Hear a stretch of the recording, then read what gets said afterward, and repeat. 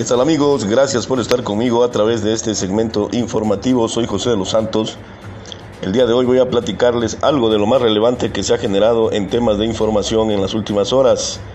Y es que mire, quiero empezar con este asunto. Más de 300 militares combatirán a la delincuencia organizada en la Chontalpa como parte del Plan Nacional de Paz y Seguridad 2018-2024 la Secretaría de la Defensa Nacional desplegó a más de 300 militares y elementos de la Guardia Nacional para el combate a la delincuencia organizada en Carnas, Huimanguillo y Comalcalco, en una ceremonia organizada en las instalaciones del 57 Batallón de Infantería.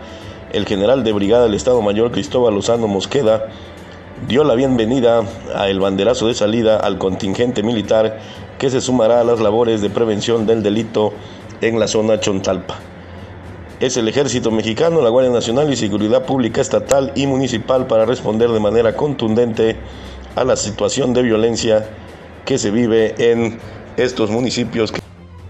Hasta mucho se habían tardado estas autoridades federales para entrar en acción y ojalá y de verdad pues vayan contra los verdaderos delincuentes y no ocurra lo que ha ocurrido en otras ocasiones, en otros años, en años anteriores, en años pasados, que los militares y algunos marinos con malas costumbres llegaban únicamente, incluso también policías estatales, por supuesto, llegaban únicamente a Comalcalco y a la Chontalpa, bueno, pues a sangrar al ciudadano, a poner retenes y a estar pasando revista a vehículos y a pedirles para el café y la coca. Lo siento mucho, pero es la realidad. Ojalá y estos señores, ¿verdad? Estos 300 efectivos militares no vengan a lo mismo en compañía con la policía estatal, que vengan verdaderamente a combatir el crimen organizado que pulula en nuestras calles como son municipios de Carnas, Huimanguillo, bueno y Comalcalco ni se diga. Pues ahí tiene, lo anunciaron y seguramente que los que se dedican a, a delinquir a ese nivel, bueno, pues ya debieron haber buscado, ¿verdad?, dónde esconderse. Así esta situación. Y miren, le platico lo que ocurrió en la ranchería Aguayo, primera sección. Una persona del sexo masculino de nombre Eliacer Arevalo Lázaro, de unos cuarenta y tantos años, el día de hoy, después del mediodía, derrapó en su motocicleta en la carretera de esta comunidad Guayo Primera. Él tiene su domicilio en la ranchería Lázaro Cárdenas, segunda sección de Comalcalco. Iba a exceso de velocidad, según testigos de los hechos, perdió el control, derrapó y se fue a estrellar contra los postes de maderas de una alambrada, donde se lesionó el rostro principalmente. Fueron paramédicos voluntarios de CNE, de la Comisión Nacional de Emergencias, quienes le brindaron los primeros auxilios y en una unidad de traslado de ellos, de la propia agrupación, lo llevaron hasta Comalcalco al hospital regional para su mejor atención intrahospitalaria. Y también el día de hoy a las 17.49 horas fue baleado en su domicilio un señor de nombre Joselito Pérez Córdoba. Este quedó malherido dentro de su domicilio, dentro de su casa, con dos impactos de bala, uno en el abdomen y otro en la parte lateral entre las costillas y la axila. Según me informaron, y de acuerdo a fuentes oficiales, este señor y se ignora el motivo de la agresión. Su domicilio en la calle Ceibo de la colonia Villas de Oriente.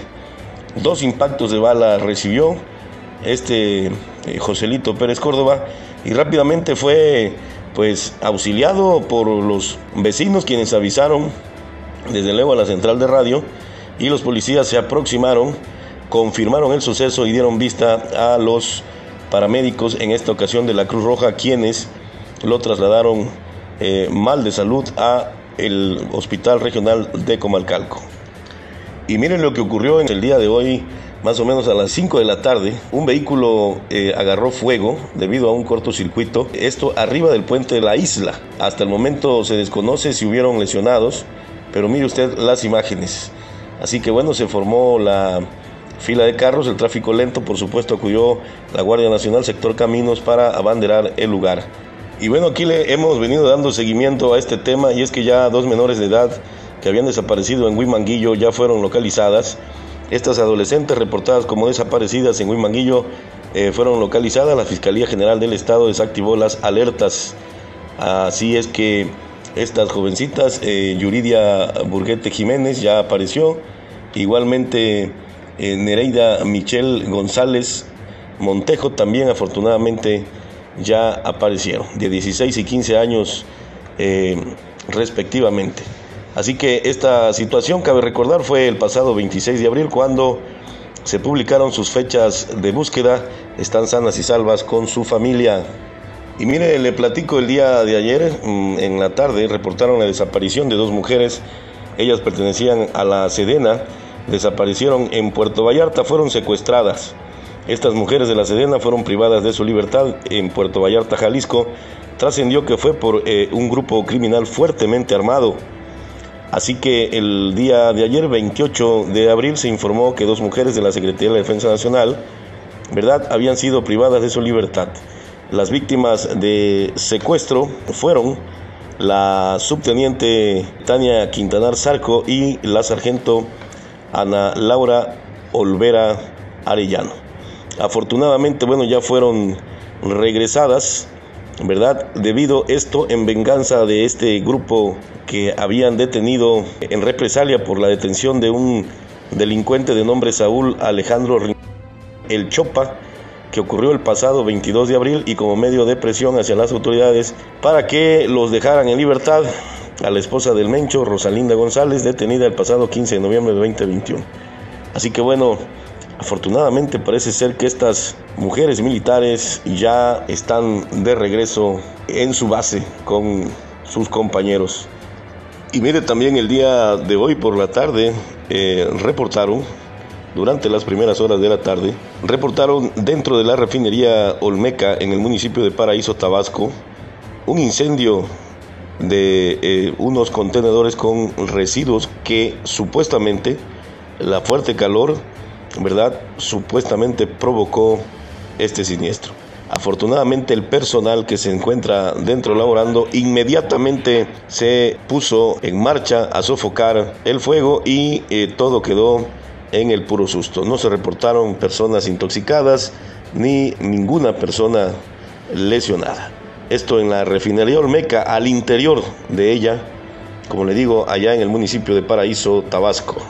Oiga, y regresando con el municipio de Paraíso, mire, allá en este lugar conocido como Dos Bocas, en esta zona, el día de hoy se dio la voz de alerta ya que un niño, fíjese bien, escapó de una guardería, aunque en el reporte no nos dicen el nombre de la guardería ni el nombre de la directora, eh, pero afirman que se escapó de la guardería, atravesó la calle y se pasó por debajo de la plana de un tráiler, imagínese usted, para atravesar la arteria vial que estaba ahí. Es un niño de tres años más o menos, eh, no permitía que nadie se le acercara, una persona del sexo femenino y un hombre que transitaban en ese momento por el sitio eh, se percataron de esta situación y fueron y pusieron a salvo al menor de edad. Decidieron llamar a la policía, ¿verdad?, para que se hiciera cargo de este asunto.